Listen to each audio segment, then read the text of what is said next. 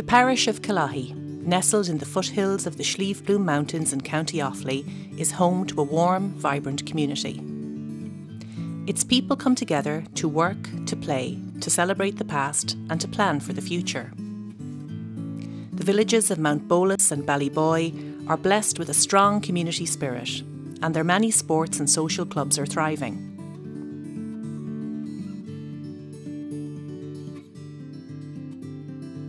Each and every generation is cherished here in this tight knit community. At first glance, Killoughey seems like so many other rural Irish parishes, but something very special sets Killoughey apart. The local people have at their fingertips a unique treasure trove, a glimpse into the lives of their ancestors. A stunning collection of more than 1,500 photographs spanning the first quarter of the 20th century. And it's all thanks to one man, Lieutenant Colonel Middleton Westenra Biddulph of Rathrobin House. Rathrobin House was built on the site of an ancient castle of the Molloys, which had been laid to ruin by Cromwell. In 1694, Nicholas Biddulph of Wexford obtained a lease on Rathrobin, renewable forever, and built a mansion house on the site of the ancient castle. Middleton Biddulph was born on the 17th of August 1849. He was 19 when his father died, and rather than settling down to the easy life of a country gentleman, he took a commission with the Northumberland Fusiliers, travelled the world, and worked his way up through the ranks to lieutenant colonel. In 1891, at the age of 42, Middleton Biddulph married Miss Vera Flower, 14 years his junior and the sister of a fellow officer. Vera was the daughter of Sir William Henry Flower, director of the Natural History Museum in London, and president of the Royal Zoological Society. Her mother was Rosetta Smythe, an admiral's daughter, whose social circle included Queen Victoria. Vera's family moved within the highest circles of Victorian society. Her childhood home was filled with a constant stream of intellectuals, including Charles Darwin, Alfred Lord Tennyson, and Robert Browning. Vera was well versed in the rigidly reserved demeanour and sense of refinement of the time. Her marriage to Colonel Biddulph and subsequent move to the very heart of rural Ireland must have been an enormous challenge for her. Vera's arrival brought a new lease of life to Rathrobin House, and a major extension and refurbishment was undertaken. The Colonel and his bride rented the nearby Annamore House while the rebuilding took place. Colonel Biddulph engaged the services of one of Ireland's most renowned architects, Sir Thomas Drew, who was the consulting architect of Christ Church Cathedral and St Patrick's Cathedral in Dublin. The three story house was constructed in massed concrete, an experimental material at that time. It was designed in a Tudor revival style, with many unusual architectural touches, including windows with cut limestone surrounds. Although he came from a very traditional background, Colonel Biddulph was fascinated with inventions and innovations and installed the most modern facilities available at the time, including central heating and flushing toilets. The new house boasted 11 bedrooms, a billiards room, a ballroom, a library, and many other beautifully decorated rooms, perfectly designed for entertaining and luxurious living. The newly restored Rathrobin House provided the perfect backdrop to a wonderful collection of paintings, which the Biddulph family had been acquiring for over 200 years. Vera's desire to create a home as grand as the one she grew up in ensured that Rathrobin House was the last word in Victorian splendour. She oversaw the planting of a beautiful walled garden and spent many happy hours there entertaining guests and playing with her lapdogs. Vera had incredibly high standards of behaviour, and her disapproval was easily earned. The Colonel's fascination with all things modern didn't just run to fixtures and fittings. He was passionate about photography, which was rapidly becoming the favourite hobby of the wealthy. He bought a quarter plate camera and set about photographing his own daily life and that of his elite circle. But more unusually for someone of his social standing, he also took an interest in the local people of the area. Colonel Biddulph photographed people of all backgrounds rich and poor, Protestant and Catholic, lords and ladies, servants and staff. He made detailed notes of his subjects, including names, places, and dates. He also photographed the many fine houses and landmarks of the area, including Charleville Castle, Clonmacnoise, and Castle Bernard, now known as Kinnitty Castle. In 1897, Colonel Biddulph was elected a Fellow of the Royal Society of Antiquaries and frequently attended meetings in Dublin. The organisation was non political and non sectarian, and the modest subscription fee of five shillings a year allowed a varied membership from all walks of life. The Society's members attempted to photograph the antiquities of the 32 counties of Ireland, and Colonel Biddulph certainly rose to the challenge. As well as capturing hundreds of images out of doors, the Colonel experimented with indoor photography, which was a very difficult undertaking at that time. Vera was his favourite subject, although she very rarely graced her portraits with a smile. Rathrobin House was a hive of social activity. Vera hosted wonderful garden parties for the wealthy families of the local area, as well as receiving visits from an impressive stream of family and friends from London, including her cousin, Lord Baden Powell, who went on to found the Scout movement. By all accounts, Colonel Biddulph was well liked by the people of Killoughey. Rather than rent land out to tenants, he decided to farm the land at Rathrobin himself, providing employment for so many in the area at what was considered a very fair wage. His love of innovation and invention surfaced again on his farm. He invested in a tractor and renewed all of the gates on the home farm with handmade wrought iron gates bearing his monogram MWB. Replacing gates was considered good farming practice, but some felt it was really an exercise in putting his own stamp firmly on the land. As the Biddulphs did not have children of their own, they took a special interest in Middleton's great nephew, William Magan, the son of his niece, Kathleen Biddulph, and Shane Magan. Kathleen's parents disapproved of their daughter's marriage and cut her out of their lives completely. Colonel Biddulph felt that she had been treated very unfairly and stepped in. He designated Kathleen as his sole heir to Rathrobin House and made her a personal allowance during his lifetime. William Magan went on to describe the Colonel as the nearest thing he had to a grandfather. Young William became a frequent visitor to Rathrobin House, and in his autobiography, he describes a feeling of always walking on eggshells there he recalls an incident when his mother Kathleen wrote a long letter to the Colonel, and he sent her back a dictionary to improve her spelling. But William also fondly recalls the many half crowns he received from his great uncle. Colonel Biddulph believed in the superiority of the gentry over all others, but at the same time displayed a great sense of humanity. William Magan recounts a trip to church, during which the carriage stopped at a rundown cottage and a ragged woman appeared, the Colonel handed a bottle of medicine to his chauffeur, Paul Wallace, who gave it to the old woman. She was terribly grateful and showered the Colonel and Mr. Wallace with blessings. Paul Wallace was the Colonel's right hand man. He was dignified, versatile, and reliable, and took great care of the Colonel's carriages and cars. Colonel Biddulph taught Paul how to use the camera and there are a number of photographs in the Colonel's collection which were taken by Paul. The permanent staff at Rathrobin House was relatively large, and over the years included John Slattery the butler, Mary Weston the lady's maid, Kate Flanagan the upper housemaid, Mrs. Bennett the cook, Mary Cash the under housemaid who was later promoted to cook, Margaret Cash the kitchen maid, and Kate O'Connor the laundry maid. Outdoor staff included Mr. Wallace, the chauffeur, Billy Guy, the herdsman, and John Bryant, the steward, who was later replaced by Mr. Woods.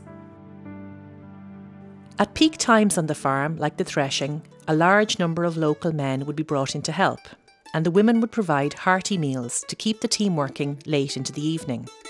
In those days, the corn was threshed in a threshing mill which was towed into position beside the corn ricks by a traction engine, a large steam engine that also drove the mill with a driving belt. As the corn stacks were demolished and the corn was fed into the mill, the rats were driven out. And William Magan had fond memories of wonderful days spent hunting rats with the Colonel's terrier Risk. The late Mrs. Pauline Matthews, daughter of Paul Wallace, described Christmas at Rathrobin as being one huge party. The Colonel would butcher a fine young bullock, and Paul Wallace would deliver a roast to the home of each Rathrobin worker. The Wallace family were invited to Christmas dinner at Rathrobin House, along with Mr. Woods and his wife and the local clergy, and after dinner there were presents for everyone. Colonel Biddulph's photographs provide an important archive of many great events of the time, including the Great Storm of February 1903 the storm was so significant it is mentioned in James Joyce's masterpiece Ulysses. Over 2,000 trees were uprooted in the local area, and almost 3,000 were lost in the Phoenix Park. The Colonel also took photographs in Stradbally during the Gordon Bennett Cup road race in 1903. A British driver had won the race unexpectedly the year before, but the British establishment was very strongly opposed to motoring, so Irish motor enthusiasts seized the opportunity to bring the race to Ireland. As there were only 300 cars in the country at the time, it was a wonderfully exciting event. Colonel Biddulph filled many roles in the judiciary over the years, from Justice of the Peace to High Sheriff of Kings County. Although an avid fan of the motor car, the Colonel came down hard on those who abused its power, as Mr. Robert H. Poole of Charleville Square, Tullamore, found out to his dismay when he was charged at the petty session before Colonel Biddulph with having driven his car at a speed calculated to endanger the public safety. It was the first prosecution for a speeding offence recorded in Tullamore. Little did the Colonel know that his own car had, at least on one occasion, been put to the test. William Magan recalled a wonderful moment he shared with Paul Wallace as they drove from Rathrobin to Dublin alone together. As they came through the Curragh in the open top car, young William had to hold on for dear life and described it as a boy's wildest dream of thrilling speed when Mr. Wallace whacked it up to 45 miles per hour. Black Lion was once a heavily populated focal point of Killoughey Parish, and Jack Bryan's forge and stables were well known. When the First World War broke out, thousands of Irish horses were sent to the front. When the horses from Rathrobin went to war, their loyal farrier Jack Bryan accompanied them. Neither Jack nor the horses ever returned. The Church of St. Ohy, known as Black Lion Church, was built in 1818 and enjoyed a large local congregation. Colonel Biddulph and Vera attended every Sunday and sat in their own pew the rectory next door provided schoolrooms for the Protestant children. But the Colonel became concerned about the condition of the building and gave land to build a new rectory just across the road.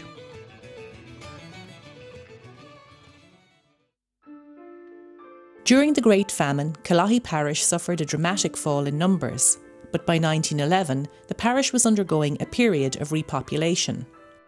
Colonel Biddulph donated two acres of land to the parish priest Father O'Reilly to allow for a new national school and a residence for a teacher to be built. The Colonel also made generous gifts to his staff. On the occasion of his marriage, the steward John Bryant was given two fields to own and farm. In order to be seen as fair to all his workers, the Colonel also gave a small piece of land to a Catholic employee. In 1917, Colonel Biddulph went to Dublin for surgery, and his failing health eventually forced himself and Vera to stay at his London home at Cheyne Walk to be closer to his doctors. Life at Rathrobin House had continued on as always, despite the rapidly changing political situation in Ireland. From the 1916 Rising to the War of Independence in 1921, but that was about to change. The Anglo Irish Treaty was signed in January 1922, and by June, a bitter and bloody civil war had broken out between those who supported the treaty and those who opposed it.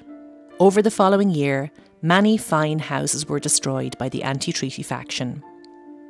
William Magan remembers carrying his father's revolver on his knee as they drove to Rathrobin House on a supervisory visit.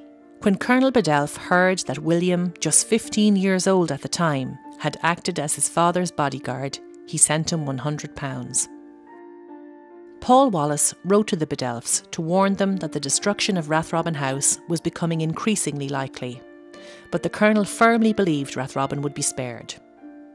In April 1923, political tensions in the area finally boiled over, and Rathrobin House was bombed and burned. Pauline Matthews remembers standing on the window ledge of her home, watching as the workers fought the flames. Paul Wallace had the unenviable job of informing the Colonel that the house had been destroyed and told his young daughter, It was the hardest letter I ever had to write.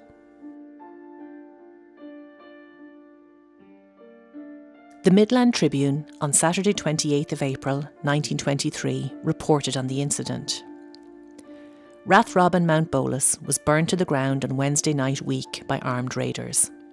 They sprinkled the apartments with petrol and the magnificent residence soon became a prey to the flames. The report goes on to say Colonel Biddulph has always been foremost in helping local interests. His kindness and generosity are well known.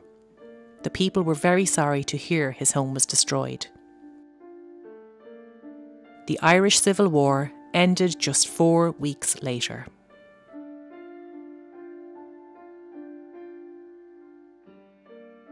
Colonel Biddulph was so utterly distraught at the destruction of his beautiful home that he forbade his ashes from being buried in the plot he had prepared for himself at Black Lion Church. The High Cross still stands.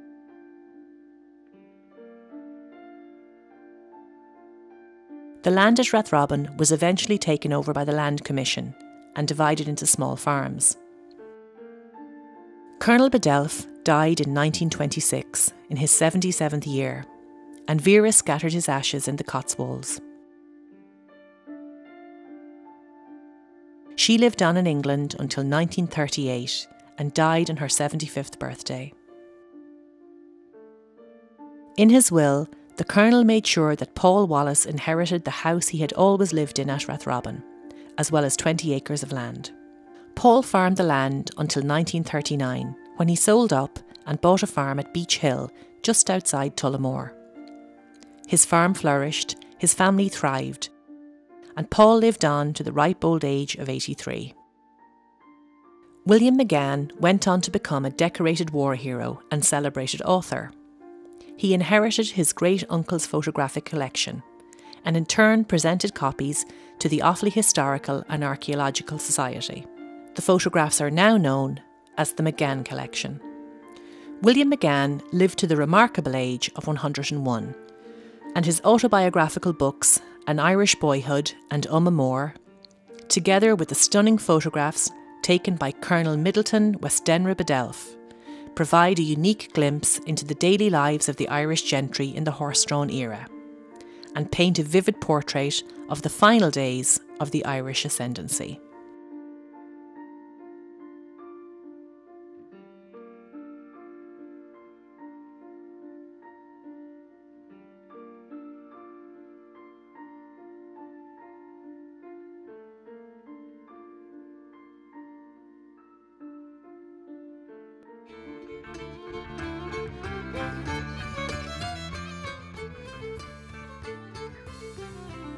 A century later, and life goes on in Killoughey.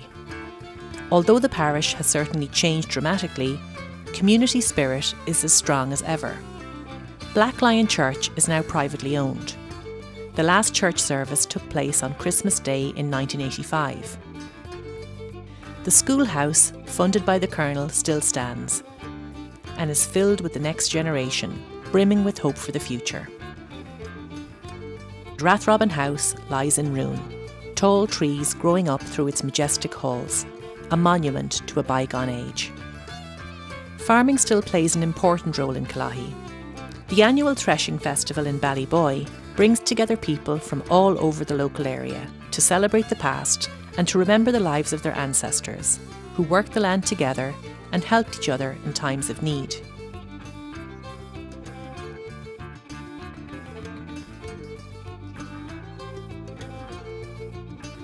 And the parish of Killoughey is still home to many of the proud descendants of the people preserved forever in Colonel Biddulph's great labour of love, the Magan Collection.